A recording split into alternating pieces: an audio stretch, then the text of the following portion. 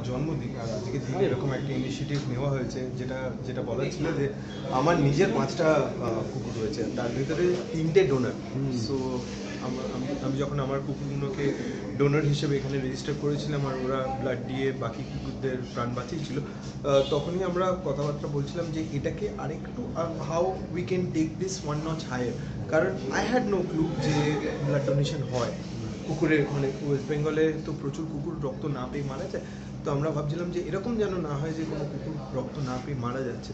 তো যেহেতু for humans we can we have our blood bank আমরা we can store the blood but for dogs it's not possible so যেটা যেটা হয় যে পেট ওনার্সরা এই অ্যাওয়ারনেসটা যদি থাকে যে একটা কুকুর তার রক্ত দিয়ে অন্য কুকুরের প্রাণ বাঁচাতে পারে, এটা পেট ওনার্সদের জানাটা খুব জরুরি এই অ্যাওয়ারনেসের ক্যাম্পেইনটার জন্যই আমরা কথা বলে এটা করেছিলাম।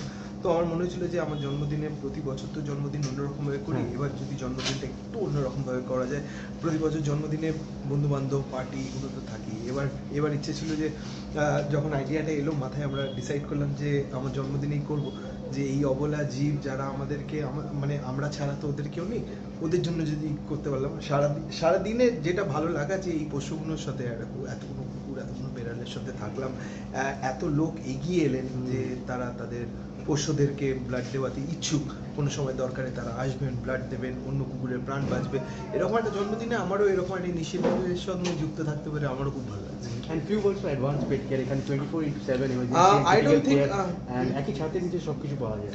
যেহেতু সুবানদাকে আমি বহুদিন ধরে চিনি আর আমার পাঁচটা কুকুর এদের উপরে মানে I completely twenty four seven I rely on advance pet care and I tell my friends as well মানে আমার আমার কুকুরগুলোর মাঝে মধ্যেই খুব কমপ্লিকেশনস থাকে কারণ these are all rescue dogs তো আম- এই কুকুরগুলো বেঁচে ফিরেছে মৃত্যু মুখ থেকে বেঁচে ফিরেছে অ্যাডভান্স পেট কেয়ারের জন্য। আমার যা কিছু হয় মানে মানে আমার আমার মনে হয় যে কুকুরের যে কোনো ছোট নিয়ে আমি এখানে চলে আসি কারণ কাছেই থাকি।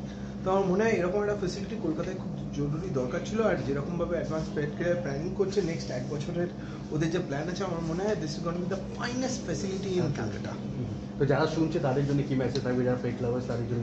তাদের জন্য একটাই মেসেজ যে রাস্তায় কুকুর খাওয়ানো তো অনেক হলো।